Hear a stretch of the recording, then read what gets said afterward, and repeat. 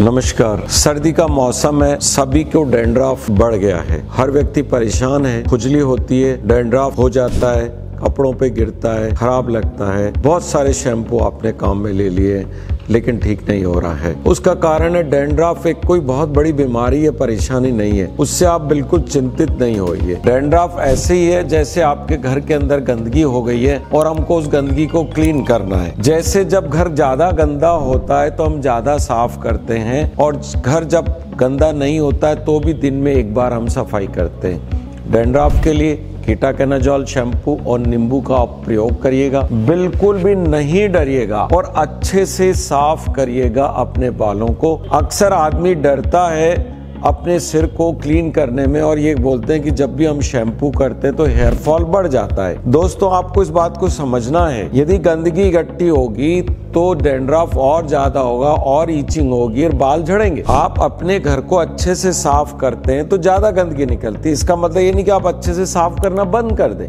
और जो बाल झड़ते हैं वो कमज़ोर और ऑलरेडी झड़ने वाले होते हैं। उन बालों को दिन में झड़ना ही था। तो मैं आपको वैज्ञानिक आधार पर कह रहा हूँ कि डेंड्राफ बाल गिरने का कारण नहीं है। ये एक बहुत बड़ा मिथ है।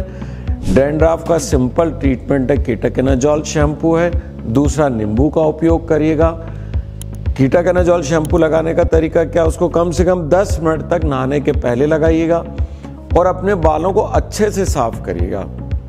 इस दुनिया में कोई भी ऐसा ट्रीटमेंट शैम्पू जादू, तेल, दवा नहीं है जो एक बार लगाने से या उसका एक कोर्स लेने से डेंड्राफ हमेशा हमेशा के लिए चले जाए। ये एक सतत है। जब तक आप जीवित हैं, तब तक आपके सिर पर और बाल हैं तो डेंड्राफ आता रहेगा, जाता रहेगा। कभी कम, कभी ज़्यादा। डेंड्राफ की तुलना के लिए मैं आपको रिपीट कर रहा हूँ, इसको अपने घर में होने वाली गंदगी से तुलना करिए। जब ज़्यादा गंदा होता है तो आप डीप क्लीनिंग करते हैं। डीप क्लीनिंग करने से मकान गिरता नहीं है। जब डेंड्राफ ज़्यादा है तो आप अपने बालों को स्कैल्प को अच्छे से साफ़ करिए। शैम्पू 10 मिनट पहले लगाइएगा और ज़्यादा होने पे अल्टरनेट डे लगाइएगा। और भी ज़्यादा है तो सप्ताह में एक दो बार नींबू पानी को अपने सिर पे लगाइए और अच्छे से धोइएगा।